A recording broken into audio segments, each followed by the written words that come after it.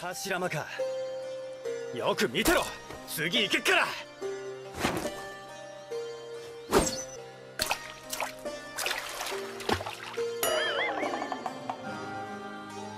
てめえ！俺の後ろに立ってわざと気を散らしたなこら！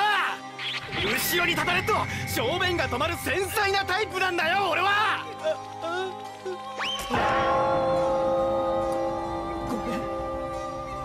前より水切りがうまいのははっきりしてるけどね。てめえで水切りしてやろうかこら！怒らせるつもりはなかった。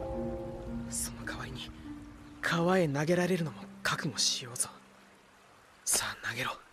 てめえは自分のうざい症状を自覚してるかこら！ただ向こう岸へ届けばいいが。目障りだ！どっか行っちま逆になんだよ俺は元気ぞ。え嘘つけ。何だったら話してみろよ。別に。いいから。言えって。いや何にもねえって。いや引っ張りすぎ。聞いてやるっつってんだから。本当なんでもねえって。なんでもねえんだぞ。さっさと話せや！お前。何？髪型といい服といい。だっせえな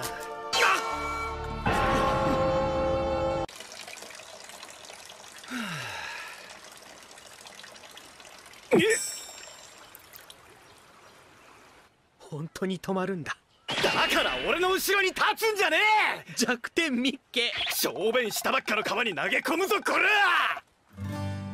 俺の水遁を食らえ！ああ汚ねえそんなの振り回すな！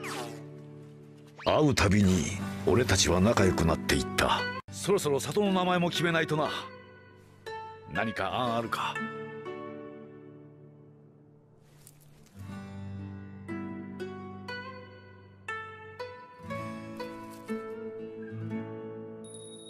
この葉学礼の里ってのはどうだ？単純ぞ。ひねりもないぞ。見たままぞ。おかげとどう違うんだこら！だからお前のでかい顔よをこの足元の岩に掘る。この里を守る象徴だぞ。冗談だろ顔がいかつすぎるからほんの少し手を加えるけどなてめえの情けねえ落ち込み顔よりずっとマシだろそんなに情けないぞ。